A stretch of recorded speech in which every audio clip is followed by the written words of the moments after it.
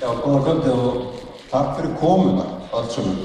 Það er æðislega gaman að sjá það eru margir mættir hérna í kvöld.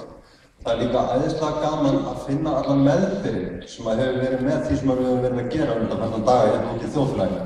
Þannig ég ætla að nota tækifærið ég ætla að byrja ykkur öll vegna þess að hagsmunarsamtök heimilana eru ekki ég eða við sem erum hérna uppi heldur þið þarna úti. Það eru 8500 manns í þessum samtökum og þið eigið að skilja núna að þessi klappa fyrir ykkur.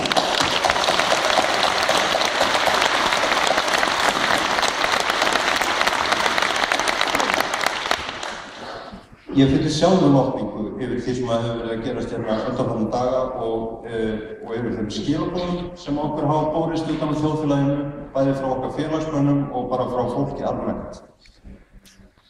Nú, en nóg um það, ég ætla að víkja hér að efni fundarins, sem að er verðtryggingin dregin fyrir dóm.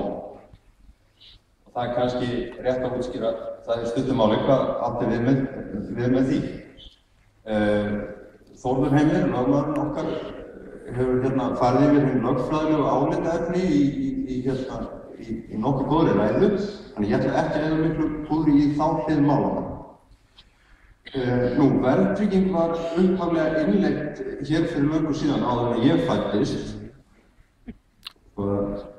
hérna, látt nú koma fram að hérna, ég er 34 ára gammal, þannig að ég hef ekki upplifað allt, allt af því sem að, að verður að lýsa hérna í ræðanum áðan var þessi óstöðuleika fortíðarinnar.